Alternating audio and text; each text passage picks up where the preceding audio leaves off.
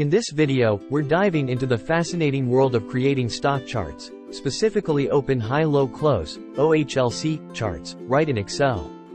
OHLC charts are essential tools for visualizing stock market data.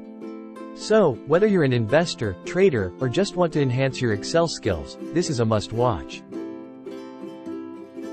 If you want to create a high-low close chart, your data need to contain open price, high price, low price, close price and date.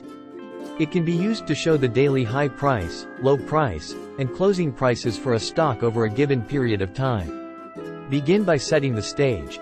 Organize your stock data with columns for date, open, high, low, and close. Ensure your data is sorted in chronological order. Now, it's time to insert the OHLC stock chart. Go to Insert tab in the Excel ribbon, and click Other Charts or insert Waterfall, Funnel, Stock, Surface, or Radar Chart command under Charts group. And select Open High Low Close in the Stock section from the drop-down list box. Stock chart will be created.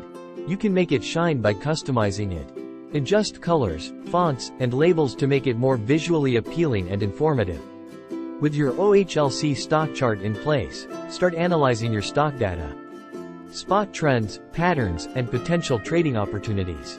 To enhance your stock chart's power, consider adding technical indicators like moving averages, Bollinger Bands, or RSI. These can provide valuable insights. Lastly, save your Excel file with the OHLC stock chart.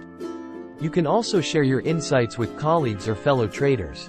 Creating OHLC stock charts in Excel is a valuable skill that can help you make informed decisions in the world of finance.